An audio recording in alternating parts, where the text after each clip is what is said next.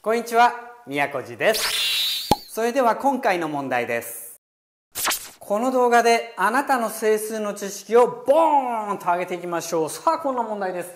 n が正の整数でルート n 分の260が整数となるような n の値を全て求めなさいという問題です。でこの問題は答えだけ書けば OK ですよというふうに数学検定協会さんが言ってくれているのでお言葉に甘えましょう。はい。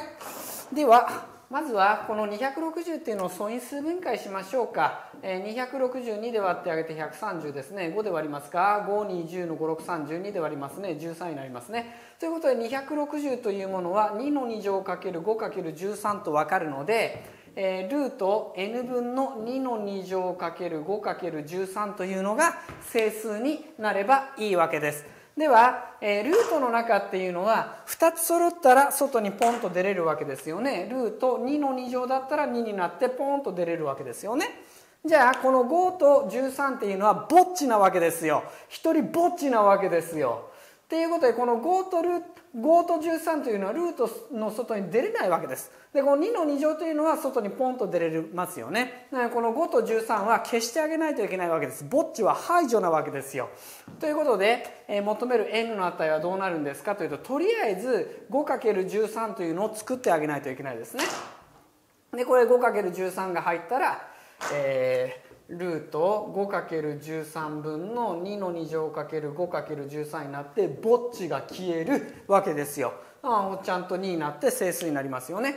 だから答えは 5×13 って終わったら×なわけですよ。×っつうか三角なわけですよ。もう一個見えますかねちゃんと。はい。こいつが整数になるような n の値はもちろん 5×13 というのはぼっちを消すためにいるわけですけれども2の2乗がここについてもいいですよね。ここに2の2乗が n が2の2乗かけ 5×13 であってもこれちゃんと全部が約分されてパンパンパンパンパンパンと約分されて1っていう整数になるじゃないですか。